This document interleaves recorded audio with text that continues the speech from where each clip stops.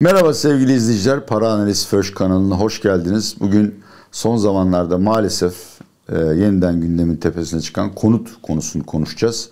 Ama bunu yaparken e, videolarımızdaki iki, yeni, iki yenilikten bahsetmek istiyorum. Bir, bu sefer mesele ekonomiden çalışma arkadaşım, çok değer verdiğim uzman ve yapımcı sorulu, Semih, Semih Sakallı soruları soracak ki kendi kendime sorup anlatmış olmayayım. Onu ekranda görmeyeceksiniz ama inanın bana görseniz de fiziksel eşkali benden pek farklı değil yani. Çok teşekkür ederim İkincisi, bu, bu güzel sözler için.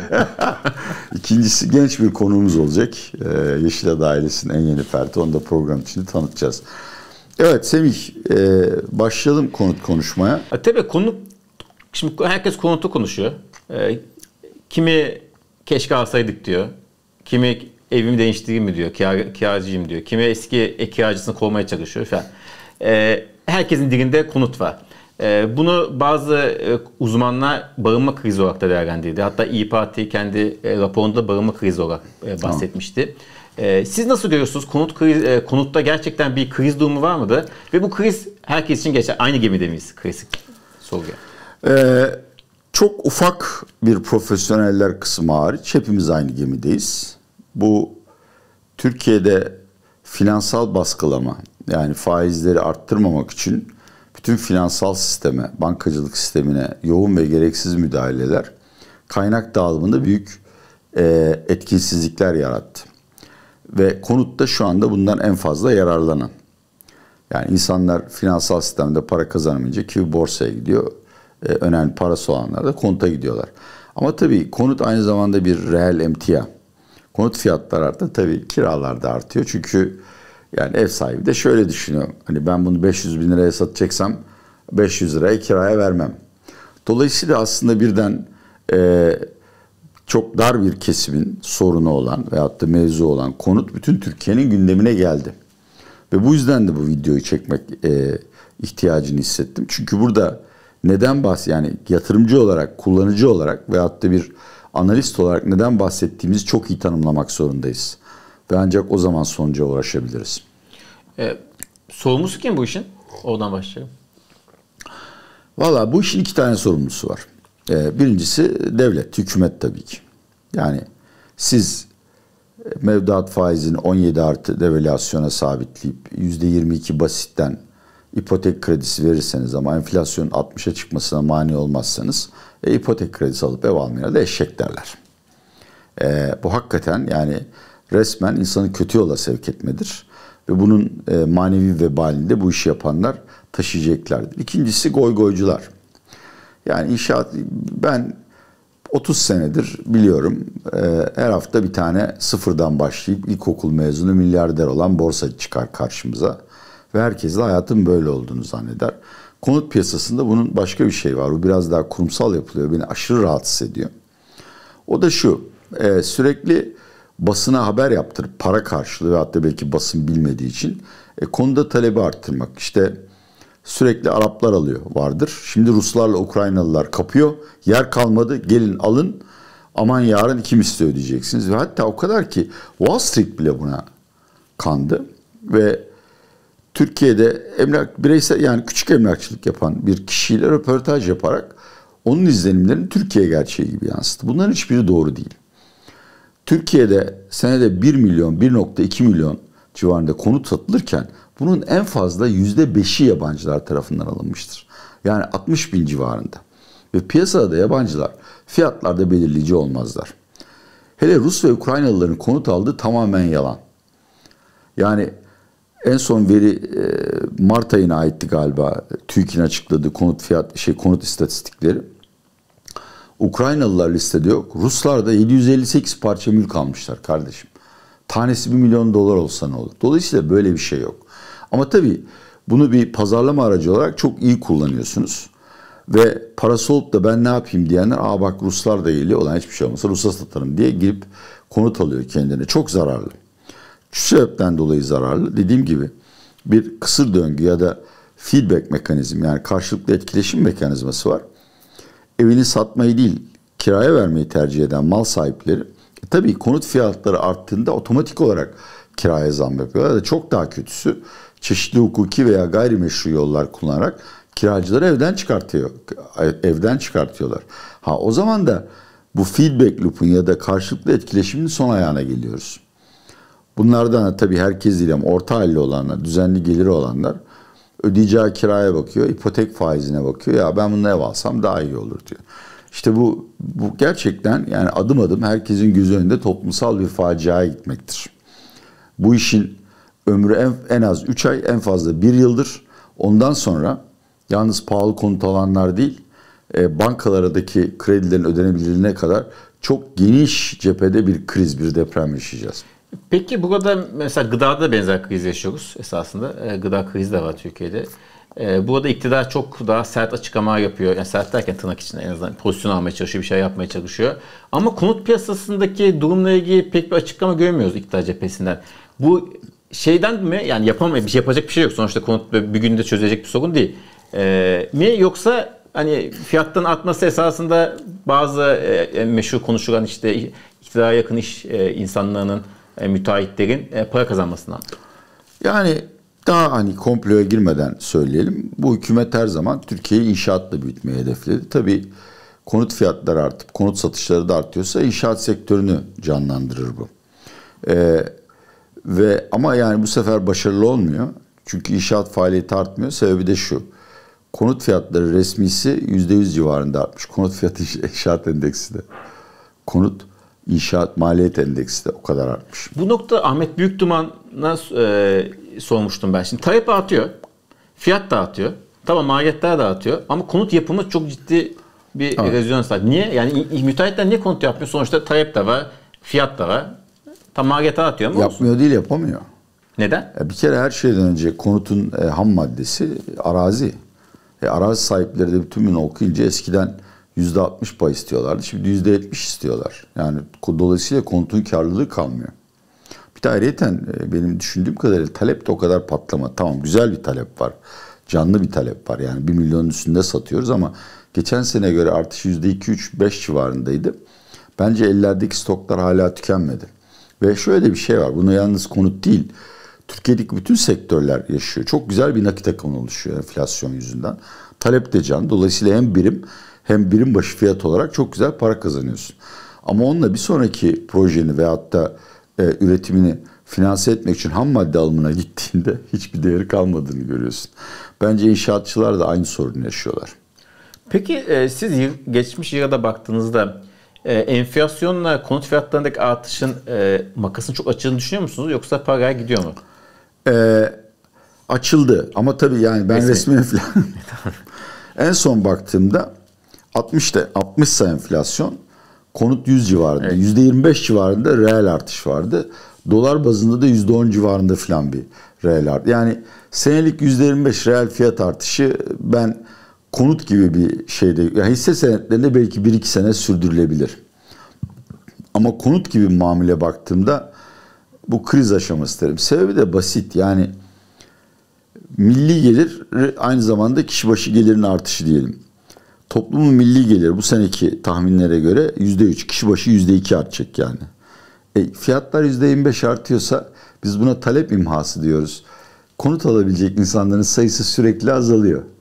E, bir noktada da bu iş bir piramit şeyi şeması olduğuna göre yani alanların bir kısmı ben daha yüksek fiyata satarım beklentisiyle bu işe girdiği için e, alacak kimse kalmayınca bu sefer bütün süreç tersine dönecek ve çok ciddi bir kapitülasyon yani konut fiyatlarında düşüş yaşayacağız. Yani siz krizi öden işte 3 ay veya bir sene dediğiniz maksimum süre öyle tanımadığınız bir sene olarak orada konut fiyatlarında bir ciddi bir düşüş bekliyorsunuz değil mi? Reel konut fiyatlarında. Şimdi bu hep kafa yani ben bunu ne zaman söylesem uyanın bir yorum atıyor bir yere. Ya neyin fiyatı düşüyor da konutun fiyatı düşecek. Kardeşim lütfen ilk önce nominalle reel arasındaki farkı anlayın Allah rızası için ya. Bir sene zaten aynı ben arka ben abi 1900 e, 96 yılında senede 3 trilyon kazanıyordum ya. Bu siyasetçileri yani, evet, Dolayısıyla çok şu anda çok büyük gelir kaybına uğradım. Böyle saçmalıklar yapmayın. Reel olarak fiyatları düşecek. Sebeplerini de anlatayım. Birincisi bunu yalnız ben değil Erdal Sağlam, Uğur Gürses bütün yani Osman Kavala'nın yanında yakında e, rezidans alacak kişiler söylüyorlar. E, kur krizine gidiyoruz. Yani Şimdi kur krizi gidip de birden dolar 18, dolar 19'da örneğin örnek olarak veriyorum bu rakamlar çıktığında konuta akan o serseri para bu sefer dövize gitmeye başlayacak. Ve birden konut talebinin şak diye kesildiğini göreceğiz. İkincisi daha da tehlikeli. Seçim olacak bir gün. Muhalefet kazanacak gibi gözüküyor ama bu da şart değil. Erdoğan da kazansa muhtemelen şu anda en azından bu politika demetinin seçim kazanmaya e, yönelik olanları ayıklanacak daha makul politika. Yani nereden bakarsan bak. Eğer yüzde yüzleri aşan enflasyona ve ekonomik krize gitmek istemiyorsan bir yerde faizleri arttıracaksın.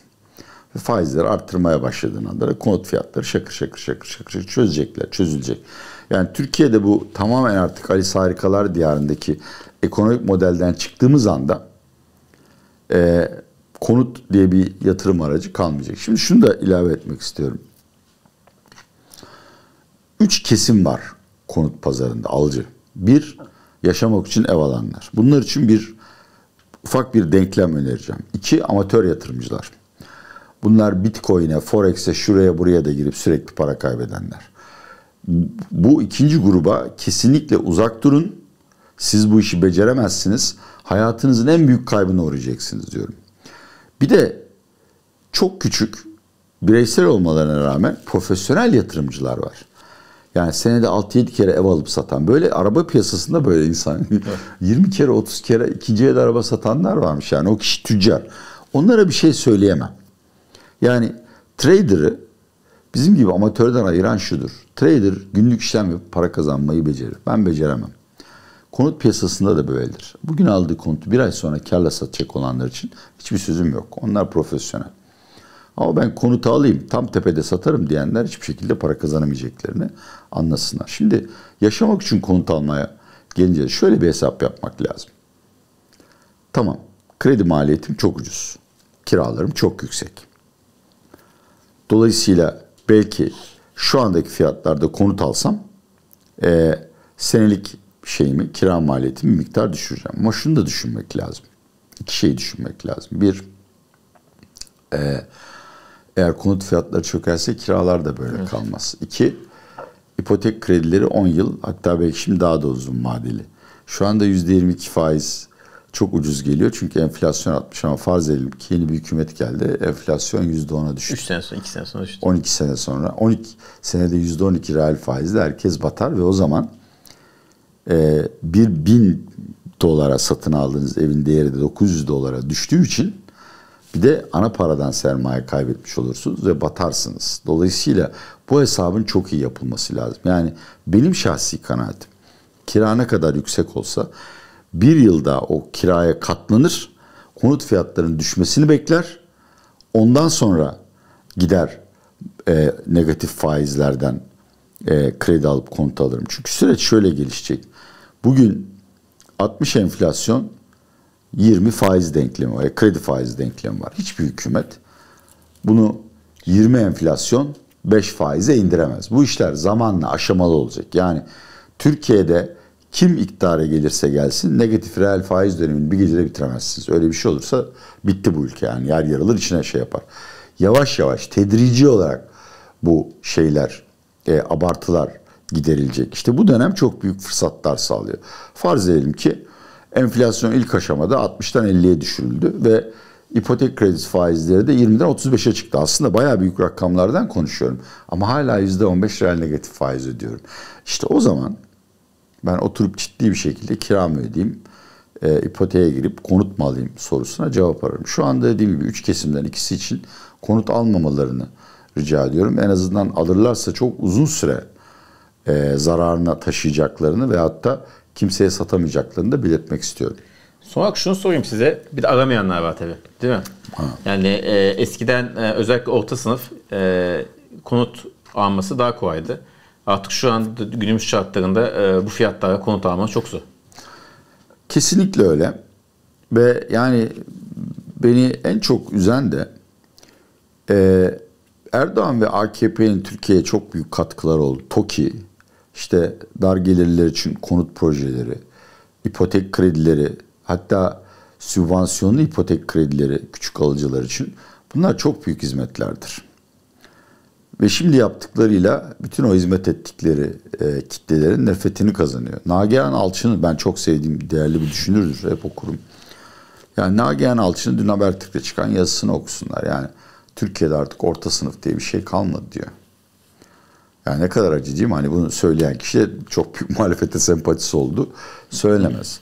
E işte yine Ahmet Büyükduman Twitter'larıyla bence çok faydalı işler yapıyor. Türkiye'de konut sahibi olma oranı Hı. hızla düşüyor.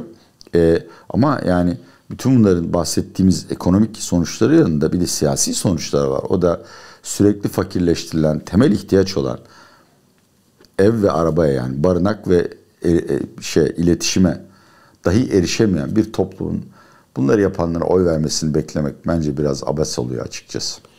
Evet göreceğiz. Ee, konuğumuzu alalım mı yayınımıza? Alalım onu da tanıştıralım. Sevgili izleyiciler Föş'ün YouTube kanalına hoş geldiniz. Bundan sonra artık bir konuğumuz olacak. Düzenli konuğumuz Can Yeşilada ama kendi ismi Yeni Bebek. Onu bir influencer olarak takdim ediyoruz size. Yeni Bebek izleyicilerine bir şey söyleyecek misin? ha? Yeni Bebek. İsmin ne senin?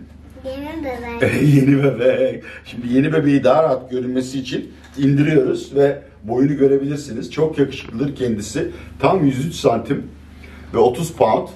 Yeni bebek. Yeni bebek bir şeyler söyle bak filmdesin sen artık film yıldızısın. Oğlum hadi 9 milyon dolar kazanacağız senden. Bir şeyler. Yeni bebek jimnastik hareketleriyle daha çok kendini gösteriyor. Yeni bebek bakalım bak kameraya bakacaksın. Kamera uhu, yeni, yeni bebek hapşırdı. Bak kameraya bakacaksın. Görüyor musun? Atilla Yaşılara and the new baby. Evet. İkili muhteşem maceralar. Sevgili izleyiciler gördüğünüz gibi ben de bir homo sapiensim ve benim de DNA'mdan çocuklar ve torunlar olabiliyor. Bu konuda bazı iddiaları da bu şekilde yalanlamış oluyorum. Değil mi yeni bebek? Sen nesin? Homo sapiens misin? Ha? Evet şu anda bütün ilgimizi kaybettik.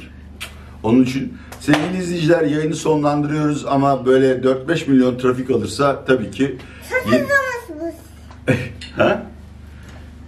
Yeni bebek tabii yeni bir lisan konuşuyor yani anlamanızı diliyoruz. Bu böyle hafif Çince ile Tauseti de konuşulan.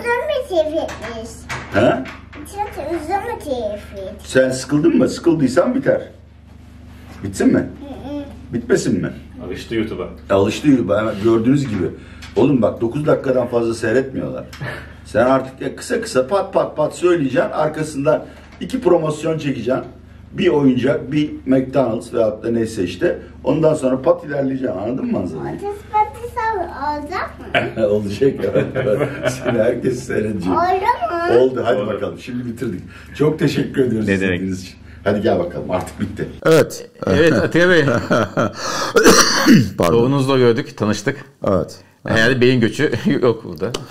Ee, yok ama e, benim oğlum yurt dışında doktor. Ee, yani ve Türkiye'den gidenlerden mi? Eğitim Türkiye'de mi aldı yani? e, yok 17 yaşında gitti ve benim oğlum Amerikan doğumludur. Yani ve biz Miami'ye götürmedik yani. Ben orada hocaydım. Ee, ve şans çok şanssız bir kararla çocuk sahibi olmaya karar. Ee, ben söylüyorum e, Can'a influencer ol diye. Çünkü şu anda en cazip kariyer oymuş ama umarım kendisi daha yararlı bir Babası tercih- gibi, de- dedesi tercih- gibi değil, babası gibi meslek seçsin diye. evet, evet. Ama yani onu da bir şekilde hani aslında tabii düşüneceğim şu hani olur da böyle bir çocuklara yönelik reklamlarda 2-3 milyon 4-5 milyon liraya model arayanlar vardır yani dedesine benzemediğinde bilsinler o annesinin annesinin jenetiğini almış. çok teşekkür ediyorum. Çok çok sağ olun. Ee, başka yayında görüşmek umuduyla. Evet. Sevgili arkadaşlar e, ilginç e, bir Föş Para Analiz yayını daha izlediniz. Dediğim gibi bu sefer e, beni, benimle röportaj yapan Semih Sakallı'ydı ekranın arkasında. Mesele ekonominin kurucularından çok değerli bir meslektaşım. Kendisine teşekkür ediyorum. Can'a da ileride beni affetmesini diliyorum. Hepinize iyi günler dilerim.